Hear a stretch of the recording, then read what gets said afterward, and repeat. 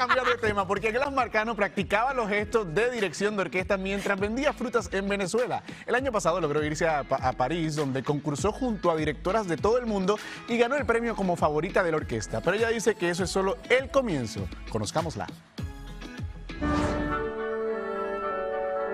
Hola, ¿qué tal? Soy Gladys Marlio Adel, me dicen Glass Marcano, soy directora de orquesta de Venezuela.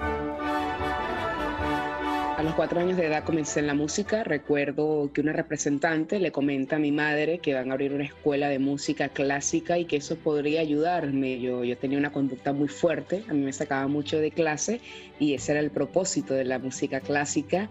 De esa manera yo entro en orquesta, comienzo a tocar violín y ahí comienza todo lo que era mi vida. Yo tenía esas ganas desde el corazón de dirigir para hacer los gestos de mi director. Yo decido irme a la capital de mi país a seguir pues mi sueño de ser directora y ahí comienzo.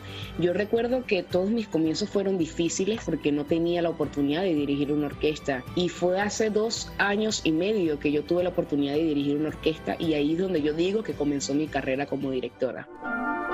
Un día cuando iba caminando para el conservatorio de música, donde yo tenía la orquesta donde ensayaba, yo iba pensando que ya era como la hora, ¿no? De, de hacer un concurso, de averiguar sobre un concurso y llego a la oficina de la orquesta y coloco en la computadora, en la computadora de concurso de dirección orquestal 2019 y cuando voy bajando me aparece la maestra y yo creo que eso fue amor a primera vista yo entro en el concurso y veo todos los requisitos, vi dos obstáculos bastante grandes. Primero, el idioma inglés y francés y el segundo, el FIT, 130 euros. Y cuando vas a un concurso de dirección orquestal, tú tienes que ocuparte del vuelo, de los viáticos y eso fue bastante importante para mí en ese momento.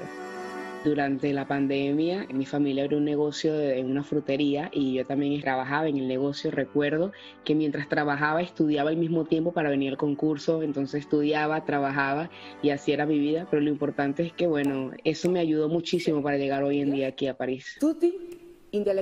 Yo recuerdo que yo quería ganar el concurso, era por el premio, el primer premio, que había una buena cantidad de dinero y eso podía ayudar a mi familia, creo que era lo más importante. También había decidido que después del concurso dejar la música y bueno, ahora más que nunca estoy en ella concurso me, me ayudó muchísimo, me cambió, pero me preparé mucho desde los cuatro años de edad, entonces no es una preparación de un año, de dos, sino de 20 años prácticamente. Yo creo que ese es el momento donde tú tienes que tener paciencia y tener esa voluntad de arriesgarte y hacer grandes cosas.